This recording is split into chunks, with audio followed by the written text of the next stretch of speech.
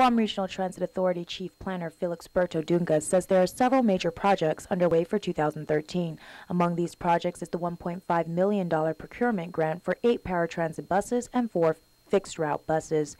GRTA is also hoping to finalize by mid this year a long-term transit contract and the creation of a one-call, once-click center. The remaining 300,000 of our grant is to create uh, and staff a one-call, one-click center. And that's a central dispatching because right now you have several um, entities who provide transportation. Dungca anticipates the One Call Once Click Center and the Guam Regional Transit Authority to be housed in the same building.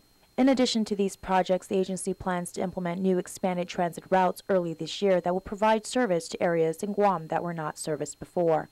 Along with expanded routes, GRTA will implement new schedules. The hours of service will be extended from 5:30 a.m. to 7:30 p.m.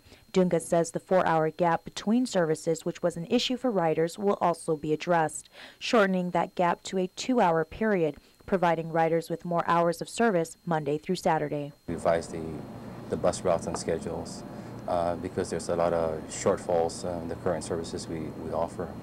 So we completed that through a series of meetings, we revised the entire schedule. Mm-hmm. Uh, those schedules are going to go up for three public hearings. The new transit routes and schedules are scheduled to go into effect on March 1st. Reporting for Guam's News Network, I'm Jolene